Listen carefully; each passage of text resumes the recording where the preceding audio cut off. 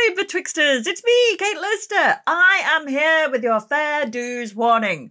Fair dues, everybody. This is an adult podcast spoken by adults to other adults about adulty things in an adulty way, and you should be an adult too. Do you know, I don't actually think that this is the rudest episode that we have ever done. We are talking mostly about Victorian fashion and fabric samples.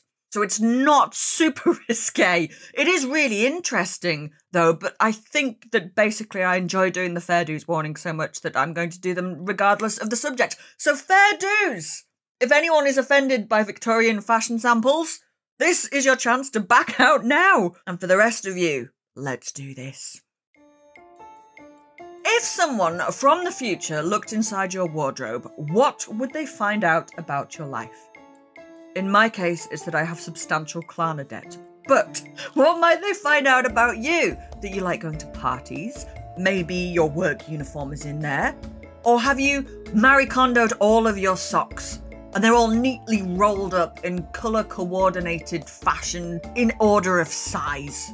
Perhaps there's still evidence of fashion trends from yesteryear in there, like the, oh God, the low rise jeans from the early noughties, and I'm told that they are making a comeback. Slight deviation now, but Gen Z, no, no, no, no, no, no, don't do that. Leave those things in the gutter where they belong. They were awful. Sorry, that was just a really scary flashback there. Don't do it. but we can find out so much about people, culture, and society through their clothes. And it's the same for our ancestors. Of course it is. Today, we are doing this. We are people from the future looking into the wardrobe of a real Victorian woman. We're going to find out about the kind of deadly dyes that she was using to make her clothes and what she was doing with an actual pirate flag. Yes, really. What do you look for in a man? Oh, money, of course. You're supposed to rise when an adult speaks to you. I make perfect copies of whatever my boss needs by just turning a knob and pushing a button.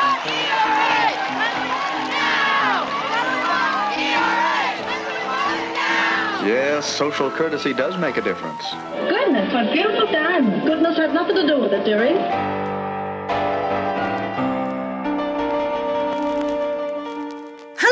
Welcome back to Betwixt the Sheets, the history of sex, scandal, and society, with me, Kate Lister.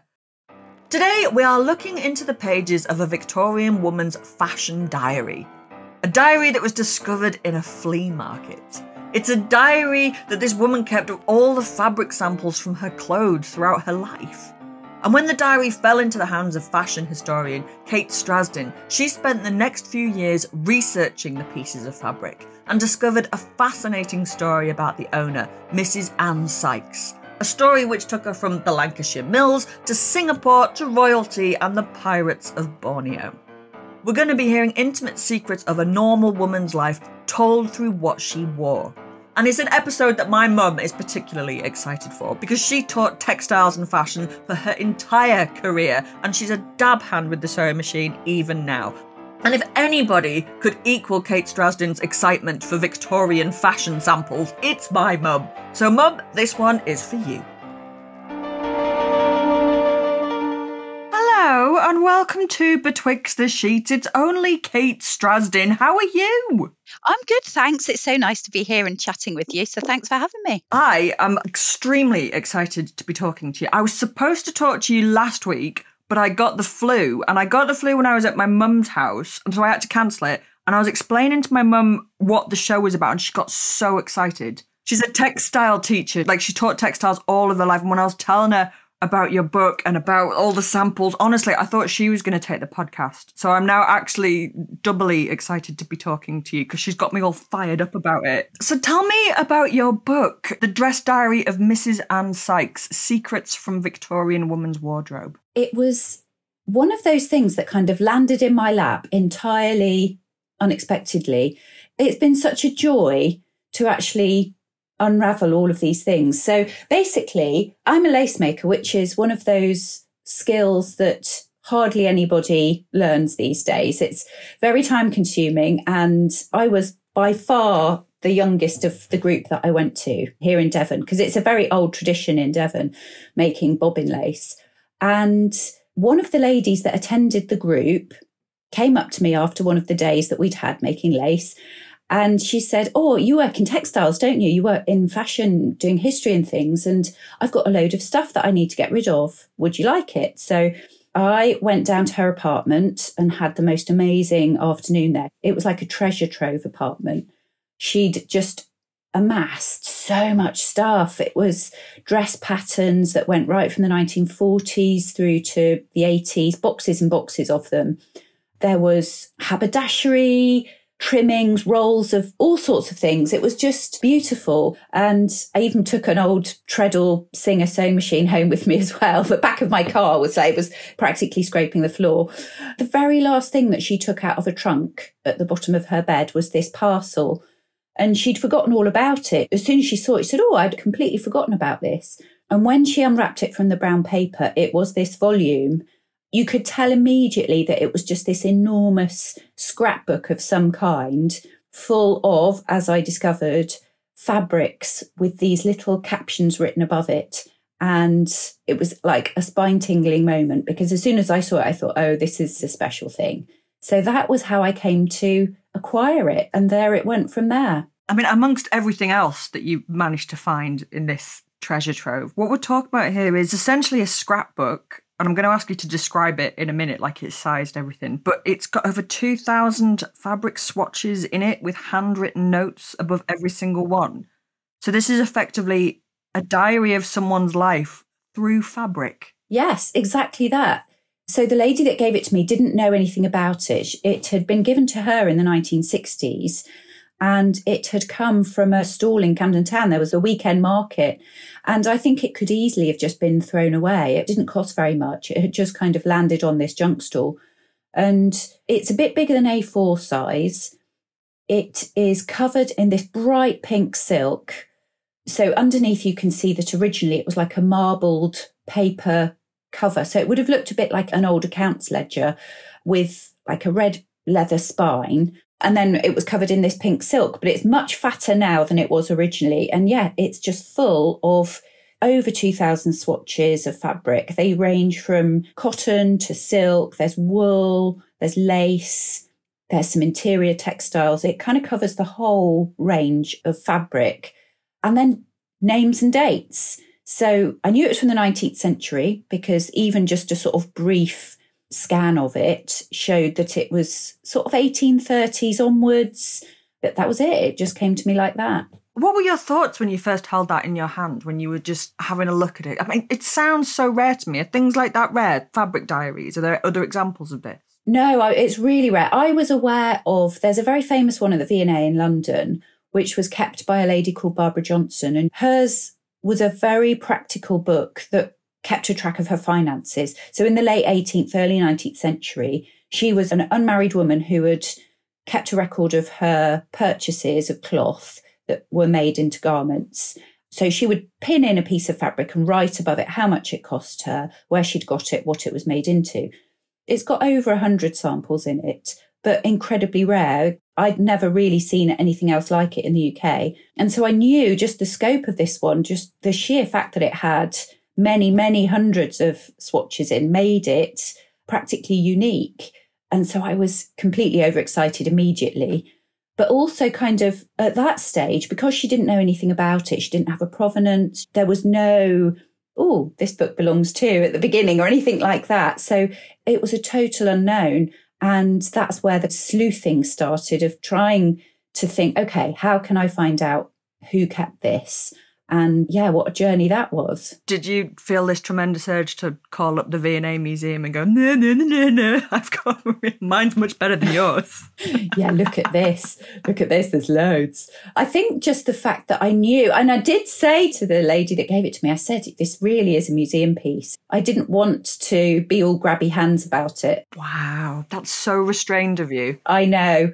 But she was adamant she didn't really want to go into the quite complicated logistics of museum donations and said, No, no, no, I want you to have it. I know that you'll do something with it. And thank God she did because I had my normal day job and kids at home and all the rest of it. Because I had it at home, it meant that I could say, Right, I'm just going to spend an hour starting to work my way through this diary transcribing the captions and see what I can actually discover. And I think if it had been a museum piece, that's a much more difficult thing to do. Whereas I could just sit in my lounge and do it with it on my knee. Oh, don't listen, conservators. Million dollar question. Who did this fabric diary belong to? Well, there are over 100 different names in the book, and it wasn't surprisingly immediately obvious because the name Anne Sykes recurred frequently, but always in the third person. So there were many, many captions that said Anne Sykes' morning dress or Anne Sykes' cloak, all of that kind of thing. And she was cagey about it. I think it was almost a bit of distance. She didn't want to make it all about her. But luckily for me, there was just once where she, it's almost like an accidental slip, like she kind of forgot herself for a moment. And just on one swatch of printed cotton, she wrote above it, Anne Sykes' dress, May 1840. And then it just says in tiny, tiny writing, in fact, I had to get a magnifying glass. It says, the first dress I wore in Singapore. And that was it. That was just the one and only moment that she went, Oh, hi, here I am. And there were names and dates listed against things like wedding dresses. So her wedding dress was in there alongside her husband's, but again written in the third person. So it said Anne and Adam Sykes wedding clothes without actually identifying them. So once I had her just kind of waving really from the page going, Oh, hi, it's me. That meant I could start to find other people. So was she just cutting parts of her clothes out and putting them in a diary? Like, what was she writing about them? She wasn't writing very much. And that's the thing. It's not a diary as we might know it because she doesn't give very much away. She is pretty sparse in her descriptions. Sometimes she writes someone's name and date only. Sometimes she might say Emma Taylor's neck ribbon or something like that. So you get a sense of who it belonged to and what they used it for.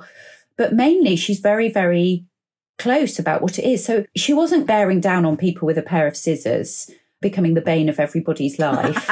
She wasn't doing that. This is very much the period where people would be buying their fabric and then taking it to their dressmaker and having it made. And invariably, there would be scraps left over that belonged to you because you bought the fabric. So I think the idea was that she was asking her friends and family whenever they had a new garment made, oh, can I have the scraps that you've got left over? And then she would cut them out, these kind of octagonal shapes and pastes them into the book with the name of whoever it was. And I think in a way it was like a sort of souvenir album or an autograph album.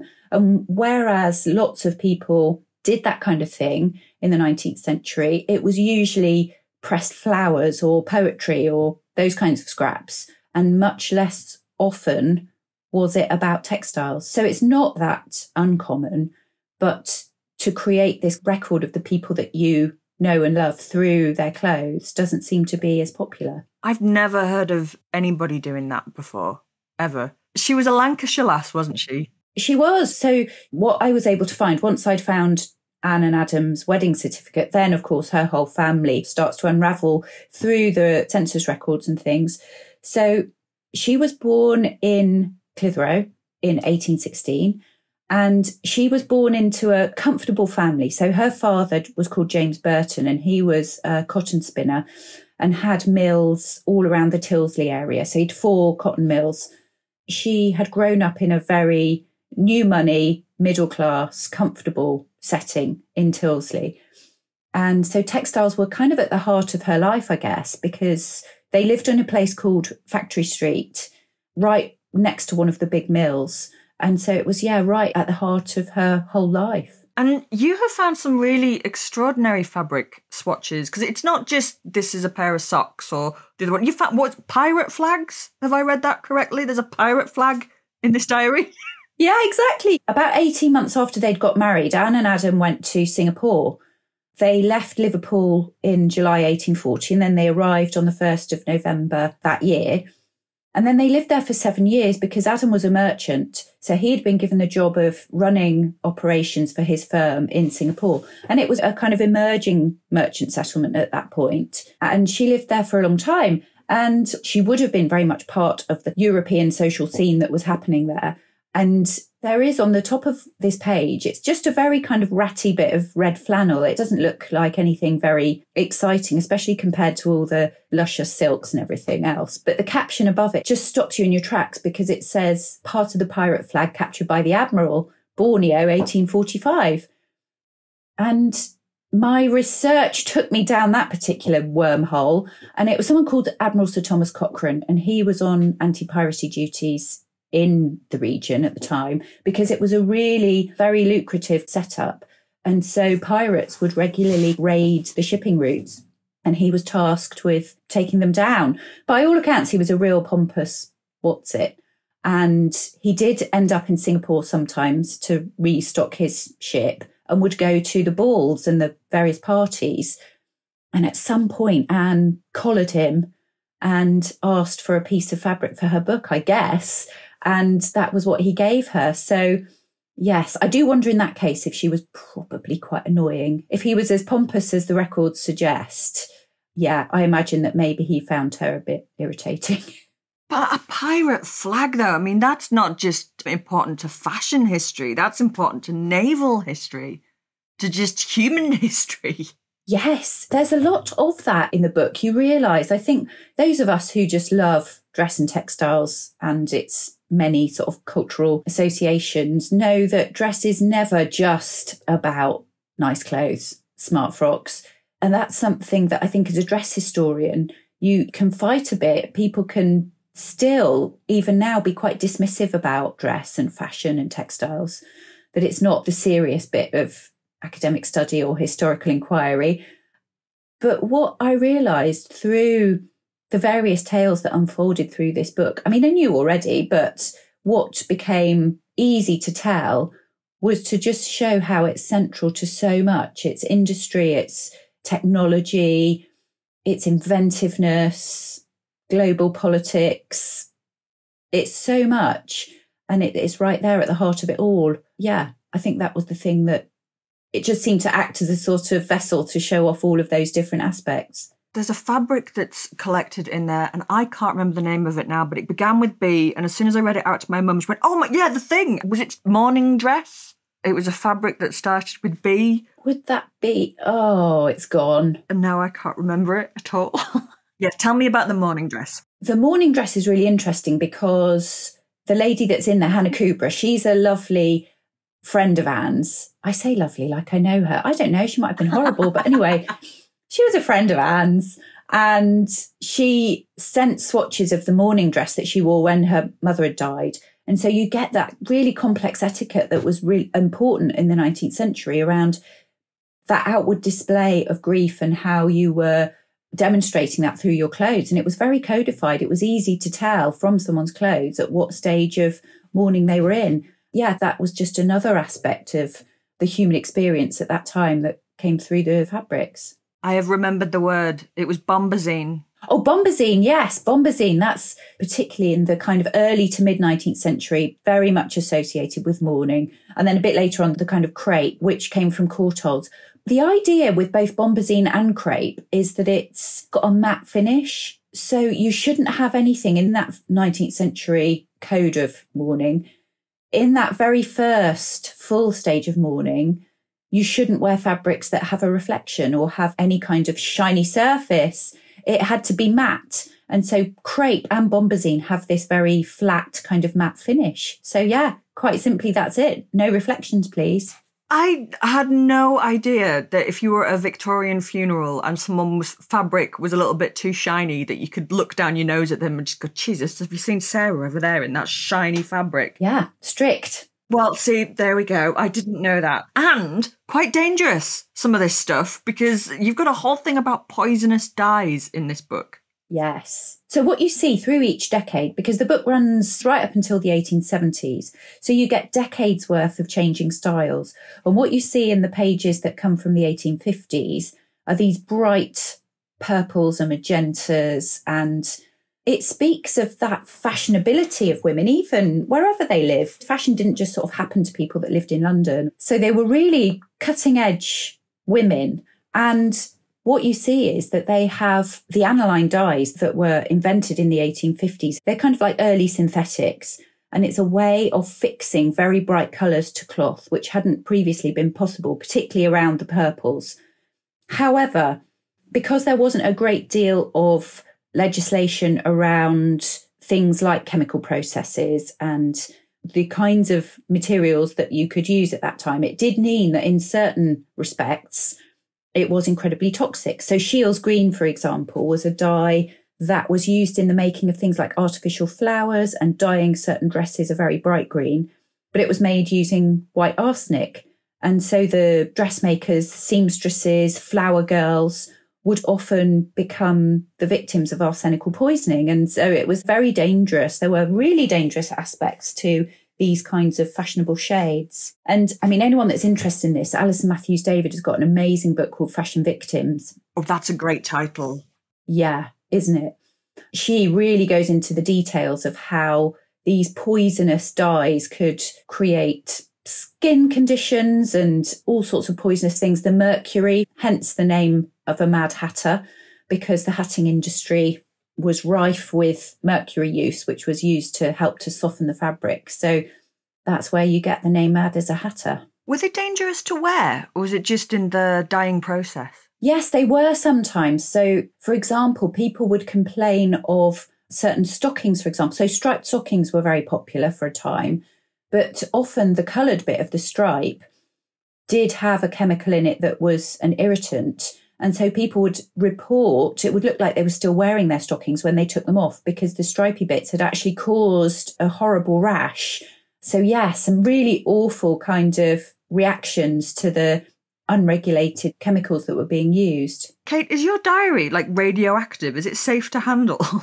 I'm a bit worried about you now. I think if I'd had any bright, bright greens in there from that period, I would have wondered.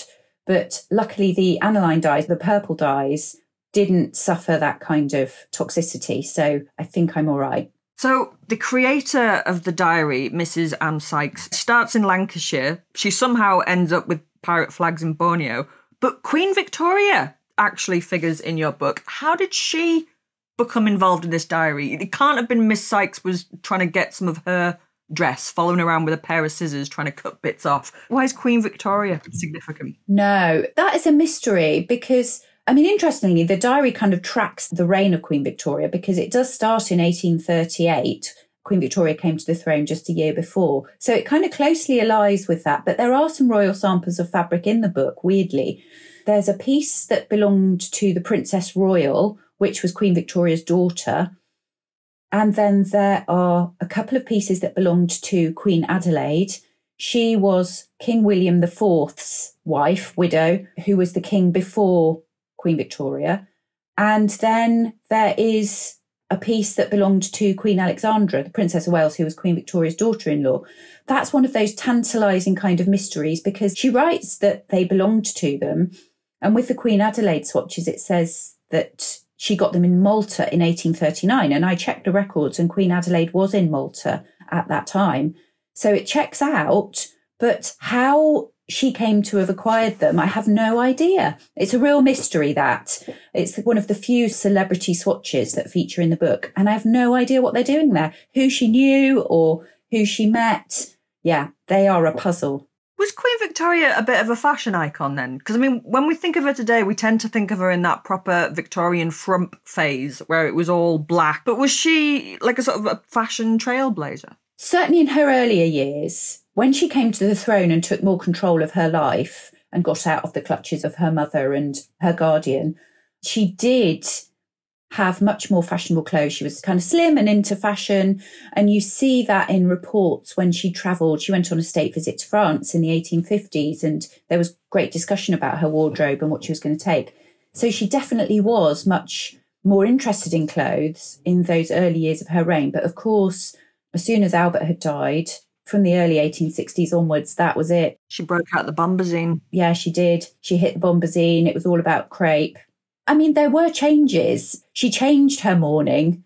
You can kind of distinguish between the different stages of mourning that she was in, but yeah, pretty much that was it. I've just suddenly thought now maybe the reason Victorian dresses were so long with so many layers is because people like Mrs. Sykes were running around with pairs of scissors trying to cut bits off for a scrapbook. Yeah, there's so much fabric in those gowns, particularly when you look at those swatches, they're only a few inches square in the diary. And the patterns are crazy, some of them, but then you do have to kind of explode it upwards into this whole garment with yards and yards of fabric and imagine it as these great billowing dresses. Do you know what really came through loud and clear when I was looking through this was that our own attitudes to fashion and to cloth today are so vastly different to the way that they were in the 19th century. That seems like a really obvious thing to say, but like with the advent of fast fashion and we have so much stuff, even when we think we don't have enough stuff, we have so much stuff that we've lost sight of the fact that fabric was very precious. Yeah. And I think the 19th century is often held up as this kind of, ooh, weren't they foolish and their clothes were ridiculous and, oh, they couldn't move in them, which is absolutely not true.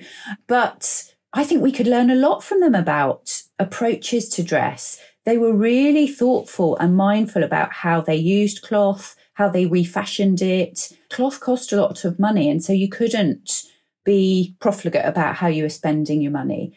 Not that they would have used the term sustainable, obviously, but the idea that you did invest in clothes and fabric and that it mattered as objects that you owned. I think there's an awful lot we could learn about approaches to dress but you don't have to go back that far at all when people would have had one outfit of clothing for the week and one for Sunday best and maybe one for school. And if you think now about all the outfits that people have and about single wear fashion, we're so far removed from the actual value of these garments. Yeah, yeah. And it was because when you look at 18th century wills, for example, the sort of hierarchy of cloth, it features second only to furniture. So when people were leaving their earthly goods to their descendants, furniture came first and clothing is often the second most expensive thing that people are, leaving in their wills. And it actually meant something, it cost. So, of course, you're going to look after it and value it and think, oh, okay, um, what can I remake this into? I can't just throw it away or not wear it, just leave it in the back of the wardrobe. Do you know what happened to Mrs. Sykes? What's the last fabric entry? What happened to her? Well, she obviously got a bit bored of doing it. So by the 1870s, it sort of peters out. Her handwriting got quite a lot bigger. She didn't bother writing names in there. It was like she lost interest by the 1870s. But actually, after they returned from Singapore, they returned to Lancashire and lived in various addresses. And then by 1890, they had moved to Bispham, just north of Blackpool, and lived there in a very nice house up on the hill overlooking the sea. Adam died in 1888 and then Anne died in 1890. And I did go and find them. So last January, on a very wet and windy day, I went to Bispham Churchyard and found they're both buried under this beautiful carved Celtic cross headstone. And I planted a little flower at the bottom just to kind of thank her for leaving it behind so that I could find it. And yeah, it was lovely because it was the first time I thought, oh, well, here she is. I know so much about you and your friends and your family through this book. And here you are right there. What do you think the legacy of this diary is? Because it's such a unique document. What do you think its legacy is? I think it's about women whose stories often don't get told. So, very often, it would have been her husband traditionally who the and in fact the histories were written about her husband in as much as he was one of the founding merchants of the Singapore community. And so it was always him that was being recorded as attending the theatre or contributing to civic things going on. And the women are she's just living her life and nobody's writing about people like that they don't generally leave much of a record behind. And so I think that's its legacy is that it's those stories of women whose stories have very much been forgotten about. It shines a light on those women. And where is the diary today? Have you got it stashed somewhere? It's just there, right next to me, right next to me in this room. Is it? Can you hold it up? Yeah, I can. I'll describe it to you. So it's in a big brown cardboard box I have it wrapped up in acid free tissue paper. I do come from a museum background, just in case anyone's listening in with horror thinking, what the hell? I do look after it properly, but it does mean I have access to it. Can you see how fat it is? That looks like a book from Hogwarts or something. That is such a chunky. Oh, look at it. It does. It looks like some kind of magical volume. That is so beautiful. Absolute treasure. Do you think one day you'll give it to a museum? Yes, definitely, definitely. Because I would love for people to be able to study it and enjoy it for future reference, but there's still so much to do. I'm still finding, I've even had people contacting me since the book has been published saying, Oh, you mentioned this person in the diary. I know who that is, someone that I didn't know who it was you know, I've done research on this branch of the family. And so there's still, even now, lots of stuff that's emerging. And Don't give it up yet, Kate. No, you keep hold of it. no, I'm not done with it yet. Kate, you have been amazing to talk to. And if people want to know more about you and this incredible book, where can they find you? I'm on Instagram and Twitter at Kate Strasdin, so you can find me there. And also my I teach at Falmouth University, so it's very easy to email me via that account. And then yeah, feel free to have a read of the book. I'm just really glad it's out there and people can read about Anne Sykes. Me too. What an amazing piece of research. Oh, thank you so much for talking to me today. You've been an absolute treat. Oh, thanks for having me. Thank you so much for listening. And if you've enjoyed this episode, please do follow along, review, and subscribe wherever it is that you get your podcasts. I promise you, we do read all of the reviews. And if there's a topic that you'd like us to explore, or if you just wanted to say hello, you can now email us at betwixt at historyhit.com. Until next time, Betwixters!